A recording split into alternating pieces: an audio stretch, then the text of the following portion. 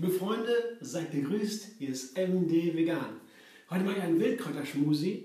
Und zwar habe ich mir vom Markt einfach mal so zwei Handvoll Wildkräuter mitgebracht. Also ein toller Kräuterstand. Die hat frische Salate immer und tolle grüne Kräuter, wilde. Löwenzahn drin natürlich, Sauerampfatz ein bisschen.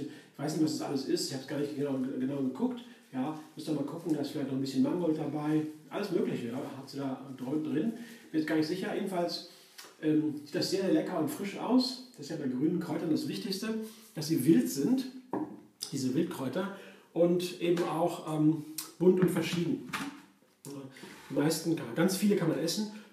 Na, na, ein kleines, eine kleine Fruchtfliege hat sich hier verloren, natürlich nicht mitgemixt werden soll. Also schön aufgepasst. Da habe ich noch fünf Bananen dazu. Das ist meine Grundlage für viele Schmusis. Bananen sind sehr gesund, habe ich es öfteren schon erläutert.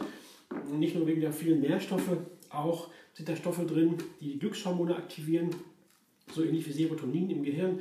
Das ist was ganz, ganz was Wichtiges für unser Wohlbefinden, so wie Schokolade auch. Bananen sind da sehr, sehr toll. Da breche ich ein paar ganz klein, damit sie unten in die Klingen geraten, damit es gleich losgeht mit dem Mixer, dass es lange dauert. Und dazu kommt noch eine halbe Avocado. Die macht gerade zusammen mit der Banane so einen leichten, lockeren Effekt. Alles wird dann schön cremig noch cremiger als Banane, sondern so auch so ein bisschen luftig. Ja? Das ist sehr schön.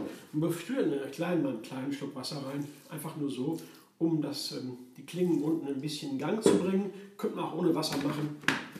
Das ist nicht der Rede wert jetzt. Aber vielleicht brauche ich nachher noch ein bisschen mehr wegen der Cremigkeit insgesamt. Mal schauen.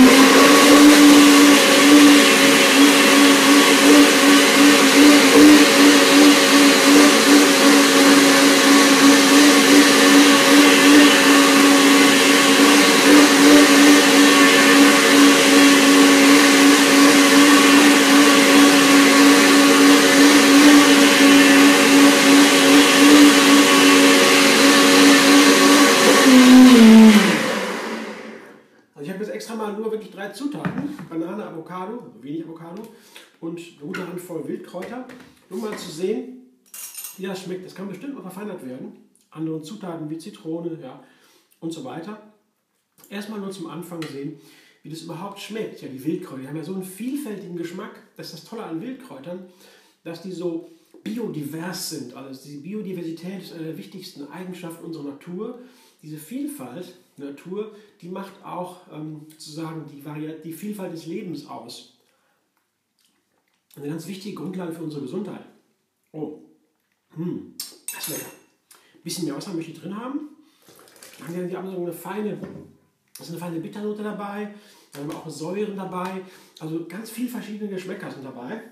Und die erstmal nur zu schmecken, ja, zu genießen auf so einer recht neutralen Grundlage. Die Süße der Banane gleicht so ein bisschen dieses Bittere aus von einigen Kräutern. Nicht sehr stark, ja, Löwenzahn ist das bitterste dabei überhaupt.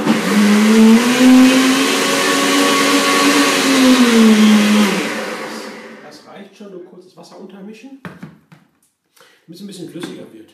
Der Geschmack war schon ganz okay. Hat diesen ganz charakteristischen Geschmack der Kräuter. Lecker. Gar nicht mal bitter, so eine Note dabei. Also sehr interessant. Das ist das Tolle bei Wildkräutern. Diese Vielfalt, ähm, die kann man schlecht beschreiben mit, mit, mit, mit Worten, weil die halt wirklich so verschiedene Elemente, Komponenten haben, die man noch gar nicht so benennen kann. So sieht er aus. Ein ganz normales Bundeswehrgrün, würde ich sagen. Entschuldigung. Aber ähm, Tarnfarbe, ja. Aber der Geschmack ist toll und der Gesundheitswert 1A. Sehr zu empfehlen, holt euch Grün, äh, vom Markt, die sind nicht teuer und halten sich auch ganz gut im Kühlschrank und so leicht zuzubereiten, Salaten, Schmusis und Suppen und so weiter. Und super gesund, es gibt nichts Gesunderes. Also viel Spaß dabei. MD Vegan abonnieren auf YouTube, jeden Tag ein neues Rezept bekommen und ja, kommunizieren.